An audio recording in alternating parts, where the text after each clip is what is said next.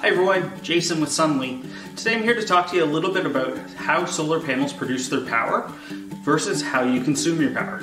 It's important when we're talking about this to discuss how it happens on a daily basis as well as an annual basis.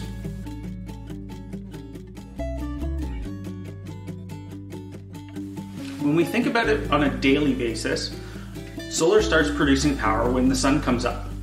It peaks during the midday and holds steady typically through the day as long as there's sunlight. As the sun starts to set in the west, you'll start to see your production fall. The way we consume power typically doesn't match up with that. We consume more power in the morning when we're getting up and getting ready for work, less power during the day, and more in the evening time when everyone's home from work and we're making meals, doing laundry, and things like that. A net metering concept allows a solar PV system to work in these conditions.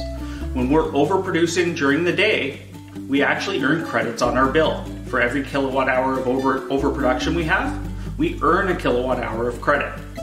The same happens on an annual basis. In the winter time, solar panels actually produce less power.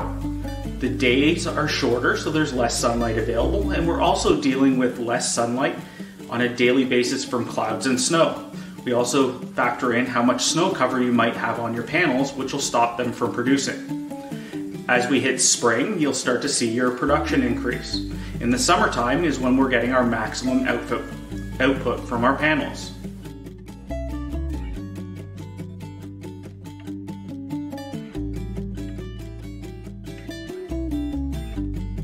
On a net metering system, the credits you earn when you've overproduced in the summer get applied to your winter bills.